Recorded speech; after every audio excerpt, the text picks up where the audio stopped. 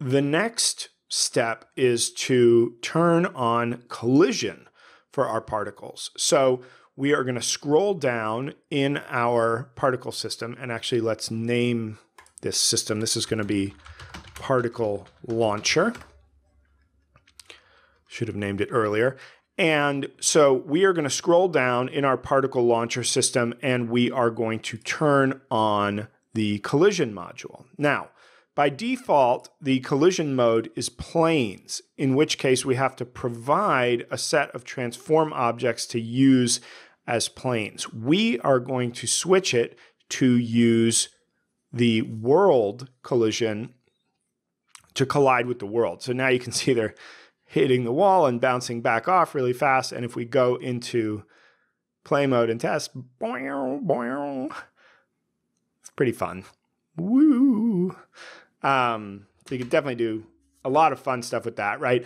But what we're going to do is we don't actually want them to bounce around. So we are going to set the bounce to zero, and we're also going to set the max kill speed to zero. So we have min kill speed and max kill speed. So the min kill speed is when particles collide and their speed is lower than this value, they're killed or removed from the simulation, right? And max is when particles collide and their speed is higher than this value. So I've set this to zero. So if our particle collides with a speed higher than zero, it's going to be removed from the simulation. So basically, whenever our particle hits something, it's going to be removed, right? We don't actually want them bouncing around. Maybe in your game you do, but in this case, we want them to disappear and do some stuff.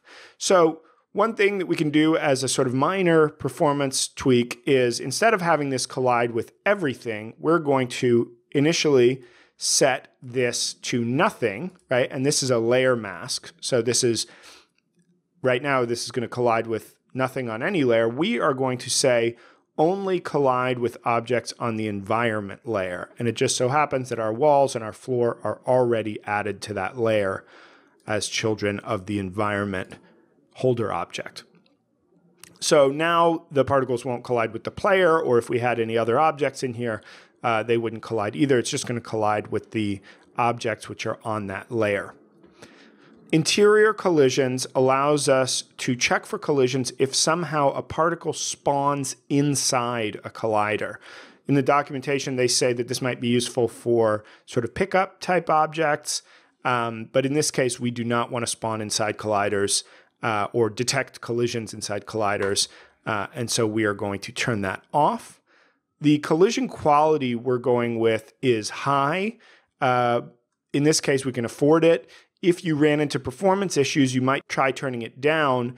The trade off is that you may have particles pass through certain objects and not register the collisions. If your game is sort of tolerant of that, then maybe it's okay. Um, and in this case, they're only going to collide with in both medium and low, they're only going to collide with static colliders. So if you run into performance issues because of this, you may want to try lowering the collision quality. Now, we can choose to enable dynamic colliders, right? We're not going to do that. We just want to collide with our static colliders in our environment. Now, the last and the most important uh, setting in this module is to send collision messages. So we're going to use a callback in our scripts called on particle collision. And the only way that this callback is going to be detected is if we enable send collision messages in the collision module of our particle system component. So we're going to make sure that that's on. And then we are going to move on to writing our script. Let me just check the chat quickly and then I'll continue. Uh, Tyler Quevedo is asking, is it possible to have it collide with environment and player through that dropdown? Yeah, just make a layer for the player, uh, which you would add up here. Just add a layer, make it player, and then you could, here, you could have multiple, in any layer mask field, you can select a number of uh, entries or nothing. We're going to keep it on just environment.